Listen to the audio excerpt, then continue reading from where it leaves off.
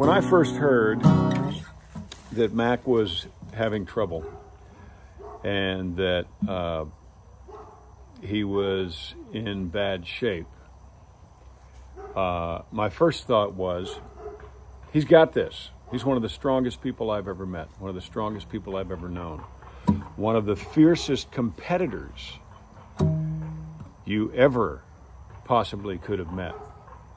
Um, I saw Mac on television. I saw Mac on stage. I saw Mac do Will Rogers Follies. Uh, I remember what an impression Mac made on me in North Dallas 40. Uh, because here was someone who was not only an amazing singer and songwriter, but a hell of an actor as well.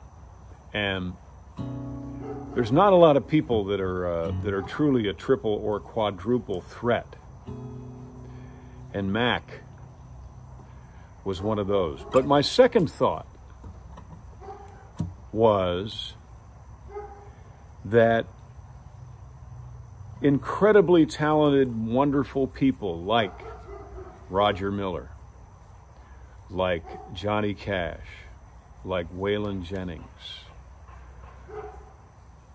were going to be delighted to see their friend again so when I think of Mac today, I think of Mac hanging around in the presence of people who have missed him. We're going to miss him here. We are going to miss him terribly here because this was an incredibly talented man and a great friend to all those who could call him friend, uh, and a wonderful family man as well. But at the same time, I can't help but think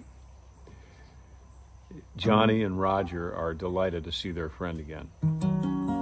So, I mean, there's a lot of wonderfully pretty, beautiful songs. There's Baby Don't Get Hooked on Me. There's all kinds of wonderful things. But this was the first song I really loved of Mac's. I'm just going to do a piece of it. Oh, Lord, it's hard to be humble when you're perfect in every way. Can't wait to look in the mirror, cause I get better looking each day. To know me is to love me. I must be a hell of a man. Oh Lord, it's hard to be humble, but I'm doing the best that I can. Mac, we love you. We miss you. Say hello to those we know up there.